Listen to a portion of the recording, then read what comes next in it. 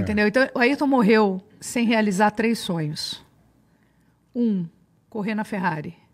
Dois, conhecer a Disney.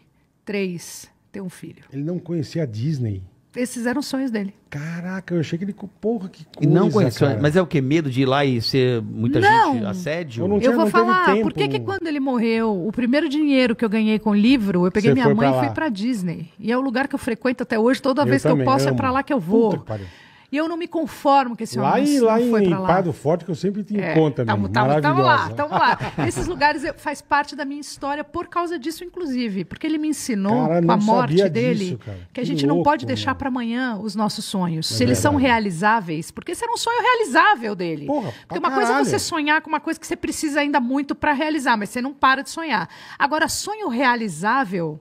Por que você não vai fazer, meu Deus? O que, que pode ser mais importante do que você realizar o seu sonho que você Verdade, pode? verdade. E eu lembro, eu com a minha meninice toda, falando pra ele, bora pra Disney! Porque imagina eu, pobre, fudida, sempre sonhei, escutando o Clube do Mickey, Queria vendo o conhecer o Silvio Mickey, Santos com o lógico, Clube cara. do Mickey. Tudo que eu Lógico. queria também era ir pra Disney. Porra, é. E eu falava, É sonho pô, se é seu sonho, moleque. é o meu também. Então Vamos. bora pra Disney. E ele fala, calma que eu tenho que fazer não sei o quê.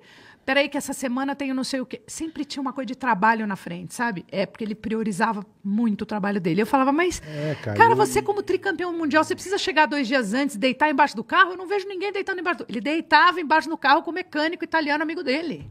Eu não via um piloto deitar embaixo do carro. Eu falava, que É. Maluquice é essa que ele sua? era que era, cara. E ele Por falava, porque que eu gosto de mexer, era. eu quero mexer. Então, assim, ele fazia umas coisas que os outros não faziam.